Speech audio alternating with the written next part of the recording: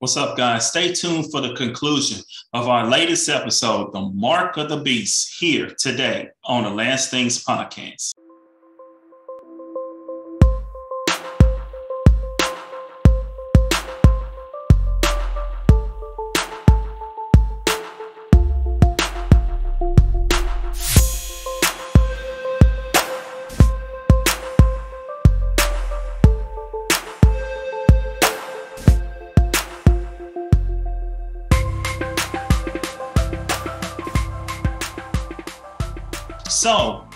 You'll know what you're doing when you take on the mark.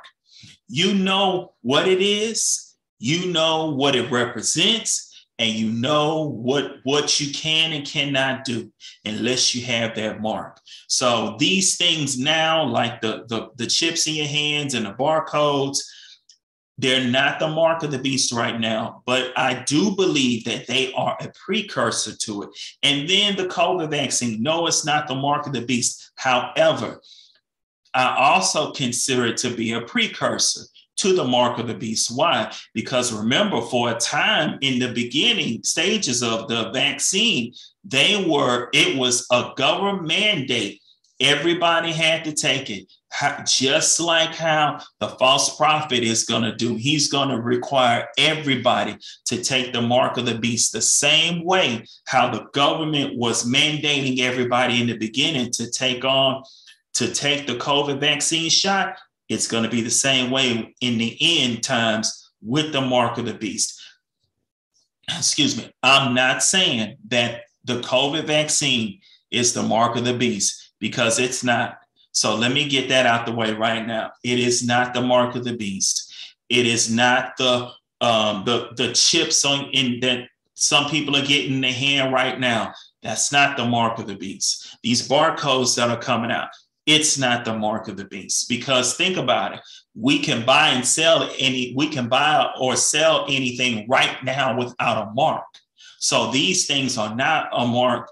They're not the mark of the beast. Now, are they precursors? Is it like a warm up to how it would be when it's time when the when it's that time for the mark of the beast? Absolutely, they are. I, now that I do believe they are precursors. Okay, so let's look at something else too. Now, the number six six six. Every for years, everybody has always tried to come up with some meaning as to 666 what does it mean? What does it mean? What does it mean? Now there's a, a, a thing that people use. It's called gematria i believe. G-e-m-a-t-r-i-a which is pretty much like an example would be like every letter represents a number, right? It has every letter represents a number. So, for example, if we're using this uh, if we're using this correctly, let's say Satan. Satan's name in Hebrew, his numeric value, remember, every letter is supposed to equal to a number. So that's the system that they use, right? So Satan's name in Hebrew would be 364. That's his numeric value. That's his name in numeric value in Hebrew, right? Another one is Eleazar. Eleazar is Moses' nephew. He's Aaron, he's Moses' nephew, Aaron's son, right? He his number would be 318, right? So using that system, it said that the number 666 will equal to the name of the Antichrist, right? Now, here's something key. Let's look at Second Thessalonian. Let's look at Second Thessalonian, chapter Second Thessalonian, chapter two. Let's scroll to uh, verse seven. I want to read this to you. For this lawlessness is already at work secretly, and it will remain secret until the one who is holding it back steps out of the way. Then the man of lawlessness will be revealed. Now, notice what Paul is saying here. Remember, we talked about this the restrainer. The restrainer is the reason why the Antichrist is not taking over right now, right? if you want to, um, we covered this episode. We covered this in episode 25, I believe. The the restrainer as to who he is, right? If you looking at this or you're listening to it and you want to know the identity of the restrainer or who he is, go to episode 25. It's titled The Restrainer, I believe. So, but here Paul says the restrainer is holding the Antichrist back. That's why he has not taken over, right? Now, when the anti when the restrainer steps out of the way, as we read, then the man, verse 8 says this, then the man of lawlessness will be revealed. So when the restrainer moves out of the way, we'll know who the Antichrist is. We'll know. So if that's true, then that means that happens at the moment of the abomination of desolation, because the Bible says when that event takes place, we'll know we'll, we'll know who he is, right? So when we see the abomination of desolation take place, we'll know the identity of the Antichrist. When the Holy Spirit moves out of the way, the Bible says then that's when his identity will be revealed. So we see here, so the number 666, what does it mean right now? We don't know. We can take a estimate as to what we believe it represents, who we believe it represents. But guess what? If what the Bible says is true about his identity being hidden until a certain time, then that means that we, we're not going to know what 666 represents until the Antichrist identity is revealed. When his identity is revealed, that's when we will know what 666 represents. That's when we'll know. You won't know until then. People have come up with so many different different ways and strategies throughout years of trying to find out what 666 represents. But guess what? The Bible says his identity is going to be hidden until a certain time. When that time happens, then he'll then he will be known all over all over the world, right? So if that's the case, then it would also stand to be stand to reason that the number 666 is going to be the same way. You're not going to know what it means until the identity of the Antichrist is revealed. When that happens, then you'll be able to figure out what 666 means. But until then, you're not going to know what it means people have are just go stir crazy over trying to come up with every kind of um, inkling as to what it means. I, I heard Chuck Missler say um, he was making a comment about some about this 666. He was saying um, he was talking about how people have come up with so many different ways and viewpoints and strategies. And he said this, what does it mean? It means that if you butcher the numbers long enough, they'll say anything. I just fell out laughing. He said it was a form of torture. He said if you torture the numbers long enough, it'll, it'll admit to anything. And that's what we've been doing throughout all these years. We've been torturing 666 for so many years. We just, it's like, okay, poof, that's what it means. That's what it means. That's what it means. But that's not the case. The Bible says the Antichrist identity is hidden until a certain time. So as long as his identity is hidden, the true meaning of 666 is going to be hidden.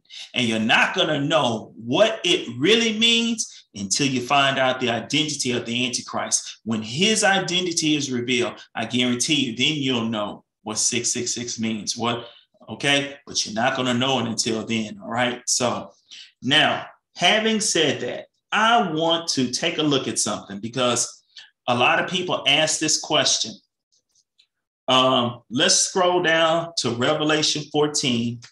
I want to look at something real quick. It is verse 9 through 11. Okay, now, Matthew chapter 12, 32. It talks about, do I have it pulled up here? Oh, I don't. But Matthew chapter 12, verse 32, it talks about any sin, you know, talks about any sin can be forgiven except blasphemy against the Holy Spirit, which cannot be forgiven. It is what we call the unpardonable sin. Blasphemy, I pulled up the definition of blasphemy. Blasphemy is defined as the act of insulting or showing contempt or lack of reverence of, for God. The excuse me, the act of insulting or showing contempt or lack of reverence for God.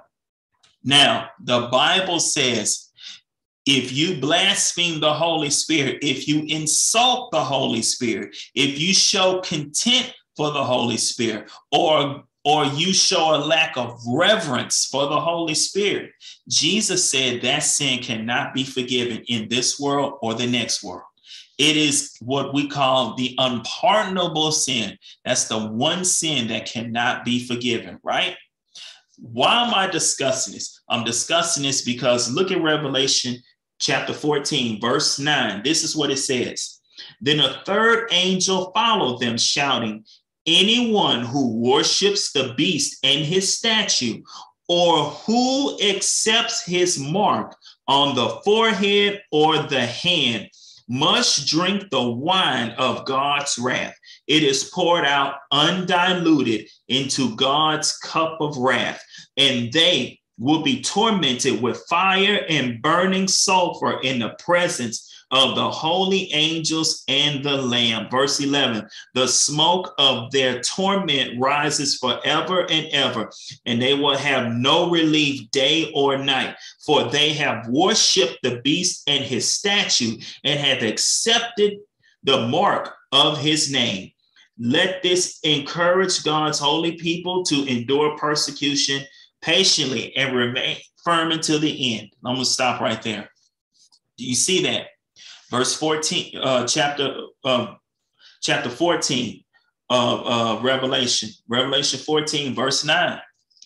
Anybody who takes on that mark, you are automatically doomed. You, you are automatically forfeited your right to salvation. You have automatically got a spot in hell reserved for you. That's why I talk. That's why I was talking about in Matthew, where Jesus talked about blaspheming against the Holy Spirit is the unpardonable sin, in my opinion. Taking on the mark of the beast is another unpardonable sin. There's two of them, as far as I'm concerned.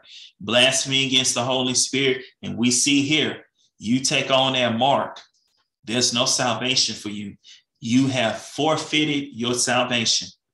That's why we that's why it's so important to remember when I was talking about talking about you know the parents and how they are with the kids and want to give them everything. And in those times you might want you can't it might be something that they want you can't give them but because they want it so bad you'll take on the mark just to give them what they want.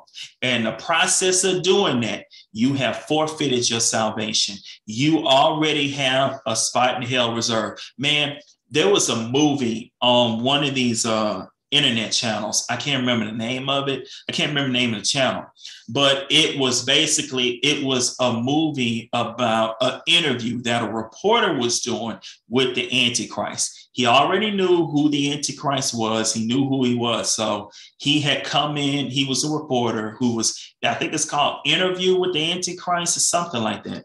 But basically, he was interviewing the Antichrist and the, and he began to say something, and the Antichrist say, "Why are you worried? You've taken on the mark, haven't you?" And and you know he cut they didn't show it, but he covered up his arm, so you knew he had already taken on the mark. So in essence, the Antichrist is telling you what you worried for. you already going to hell, really. What you tripping about, right or wrong or whatever? At the end of the day, it's not gonna matter for you. It's kind of I don't know if you guys remember, there was a movie called Drag Me to Hell years ago where this young lady, she was a bank teller, and this old gypsy lady came in and she could have helped the gypsy lady, but she chose not to because she's thinking about a job. So the gypsy lady put a curse on her and said, In three days, you're going to be dragged to hell, right? And she, in the whole movie, she's going through all these different things to try to break this curse, right? And at the end, and she thought she broke the curse but then at the end of the movie, when it's supposed to be a happy ending, we see that she didn't break this curse. And at the at the end, she um, she was dragged to hell, right? Right at the end of the movie. That's how it's going to be if you take on that mark of the beast. You you forfeit your salvation and you'll be dragged to hell too. You will be dragged dragged on to hell. No ifs, no ands, no buts about it. Uh, and, and another reason why I'm discussing is because people say, "Oh, well, it you know it says Jesus said that's the only sin that can be forgiven that can't be forgiven, blaspheming the Holy Spirit. So people will think, okay, well, because um, because of the um, well, if that's the case, then if you take on the mark of the beast, you can be forgiven as well. But we just read here in the Bible, it says, no, you won't. No, you can't. If you take on that mark, there's no forgiveness for you. There's no salvation for you. You, you can't be saved. So when we talk about the unpardonable sin, in my opinion, there's two of them. There's the blaspheming of the Holy Spirit, and then there's taking on the mark of the beast. You one of those, you do one of those two things, or even both. This, this is some evil people in the world who do both. But one of those two things, there's no longer no salvation for you. Okay. Now, I want to give you an example of being separated. I read this before. It said, God will grant their request to be eternally separated from Him. Taking the mark will be a blasphemous act of willing defiance against God. Receiving the mark of the beast is essentially worshiping Satan. They have made their choice to serve Satan and turn from God. When people make that decision during the tribulation, God will grant their request to be eternally separated from Him. I, I read that statement. I was just blown away, like, wow. It taught really, really brings that into brings that into focus of what you're really doing. When you take on that mark, you really are turning away from God. You are essence saying, I, I worship Satan as the great head. I worship him. I worship whatever. I, I, all hell King say. It, it's like Captain America in the Avengers movie. I think it was Endgame when he was on the elevator and he was leaning over talking to the guy with the glass. I can't remember his name. He said, Hail Hydra. That's how it would be for here. You take on the mark of the beast, you are in essence saying, Hail Satan. That's what you, in essence, are saying. You are saying, I'm not for the kingdom. I'm not for God. I don't care. Mark me. I'll do whatever. That's scary. That's scary. And here it says here, if you want to be separated from God, okay. God said the, the, the writer said he will grant your request for you to be separated with him. I want to use this as an example of being separated from God. It's Luke chapter 16, verse 19 through 31. Reading your study time. It's basically, and I'm going to paraphrase it, okay? It's basically the story of the rich man and Lazarus, where every morning Lazarus, the rich man, would leave from his house and he would step over Lazarus, right? He could have gave Lazarus something to eat. He, Lazarus, I believe, was homeless. He didn't have no food, no place to stay. So he could have given him something, but he didn't. So the Bible says they both died, right? Uh, Lazarus went to, I think it calls it Abraham's bosom, which pretty much is heaven, right?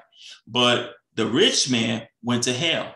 So the rich man asked, asked uh, Abraham, he said, Hey, can you tell uh, Lazarus to dip his hand in some cool water dip his finger in cool water and just let it come down and just let it touch my tongue so I could feel just some cool water because he's being tortured. It was so hot there. You know, it's called the lake of fire for a reason. And Abraham tells him, no, he can't do that. He, he, he can't do that. He said, there's a gulf that separates heaven from hell. He can't cross over there to you, and you can't cross over here to him. There's something that splits heaven from hell. You can't cross it. You you can't need you can't cross over to the other side. So if you're in heaven, you can't cross over into hell. And if you're in hell, you can't cross over to heaven because there's a divider right there. So he kept giving them different things to say. And, and, and at the end, they weren't doing they weren't going to do anything for the rich man. I think one of the uh, one of the uh, things that he said, that Abraham said was, you had plenty of opportunity to do these things and you didn't. So now you want it to be done. And so, in essence, they didn't do nothing for him. They didn't try to help him with his. Abraham didn't help him with his torment. He didn't try to make it easier. They just left him right there where he was. So the rich man was in paradise. I mean, I'm sorry, Lazarus was in paradise, and the rich man was suffering for all eternity. That's how it's going to be. That's an example of a separation from being separated from God. And that's how it is if you take on that mark of the beast.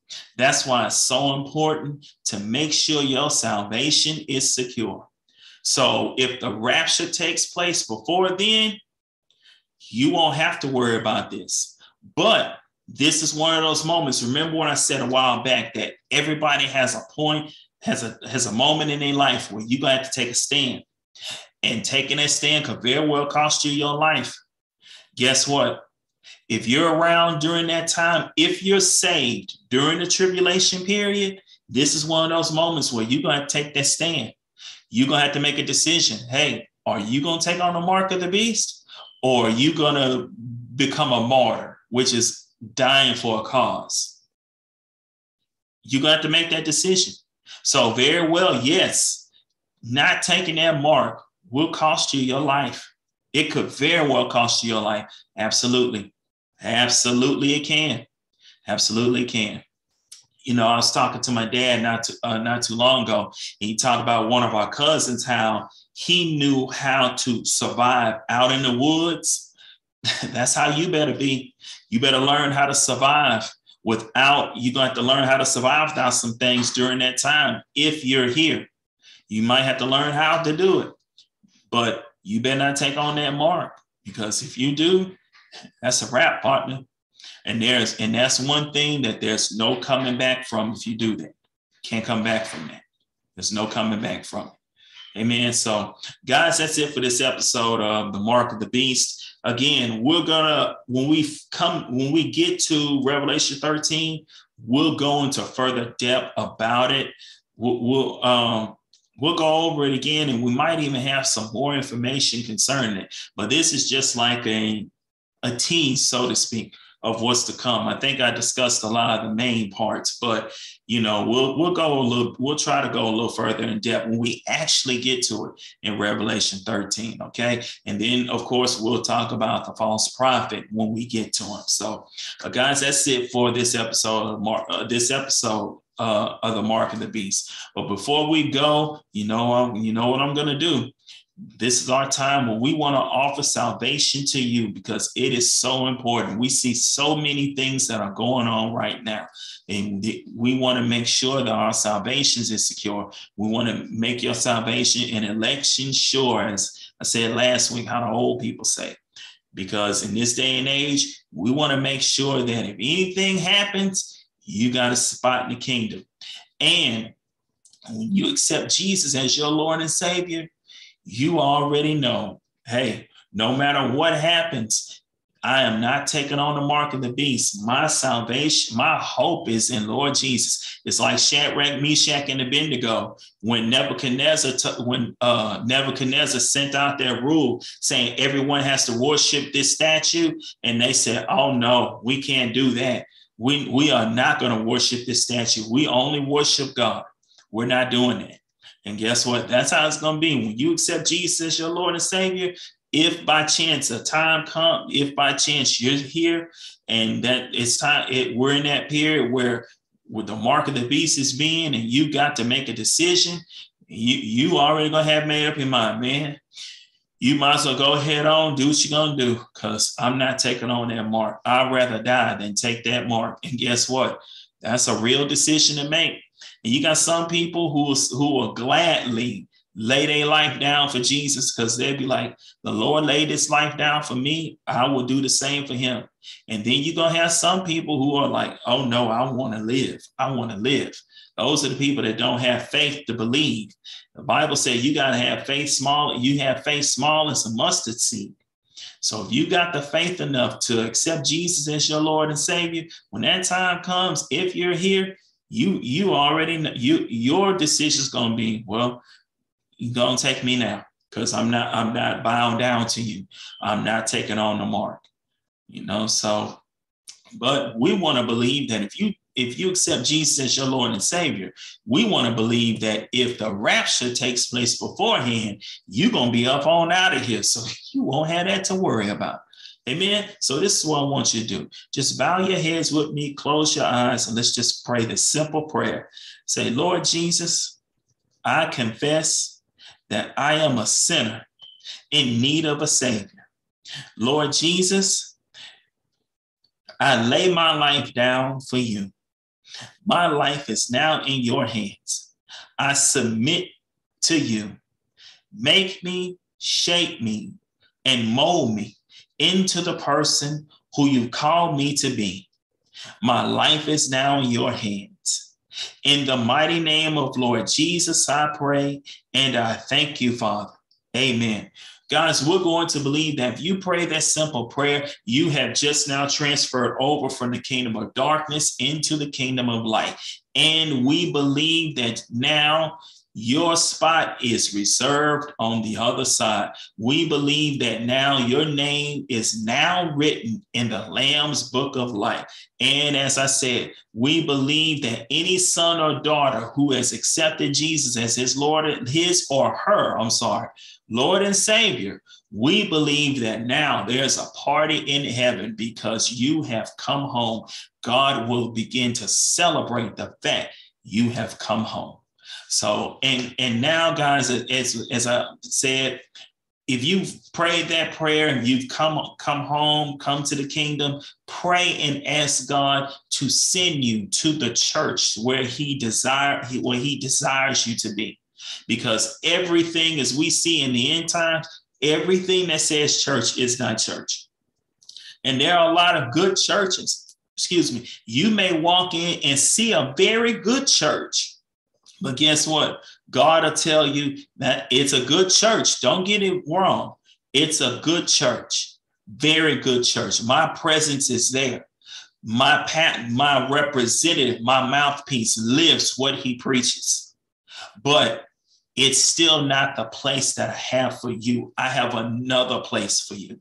So when God leads you away from a church, it might not necessarily be it's a bad church. It could be that it could be he just wants you to plant somewhere else. So you never know. But the most important thing is pray and ask God where he wants you to be. Okay. Now, I know I said last week I was going to talk about a particular scripture in Zechariah where a lot where you make your decision whether or not you believe this. There are some people that believe that this scripture in Zechariah is a description of the Antichrist. And you have some people who believe it's not a description of the Antichrist. These things represent different represent um, have a different meaning. They they symbolize something else. So I know I said I was going to take a look at it, but because this episode with the mark kind of ran a lot longer, so what I'll do is the following week, that's where I'll bring up the scripture in Zechariah. So we'll take a look at it next week. And I'm trying to get us a special guest to come on to the show so we can have a little discussion about the Antichrist. I'm trying to um, hopefully everything will work out. We can bring him on, and man, we're gonna have us a good time in the Word. So, but anyway, guys, that's it for this episode. Guys, I love you. Have a blessed week. Please be safe out there. Stay prayed up. Make sure to spend some time in the Word, man. Don't get too. Don't let the cares of this world boggle you down. I don't. I, I, can testify. I've been that way uh, this past week. I've let a lot of things boggle me, kind of keep me from the word, and I got to get myself back on track. That's just me letting you see me letting you see my struggle because I'm not perfect and I'm not holier than that. I struggle just like everybody else, but at least I can admit it.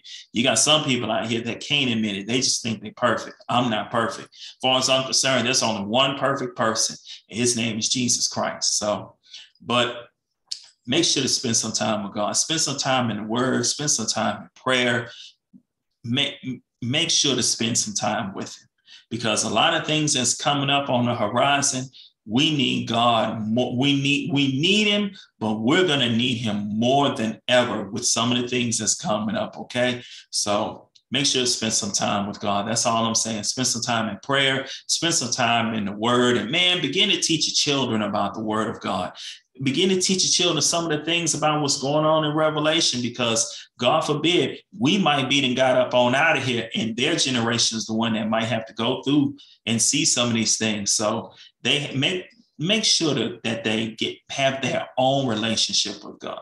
Okay. It's our job, it's, it's our job as older generations, the parents to do that. So make sure to do that, guys. Okay. So I love you. You guys have a blessed week. Next week we'll cover uh, Zachar- uh, the scripture in Zechariah. You decide for yourself. Is it the Antichrist or how he looks, or is it symbolize something else? I'll let you decide for yourself. Love you guys. Be blessed out there. I'll see you next week with another fantastic episode of Last Things Podcast, where we are on a journey to the truth. See you guys.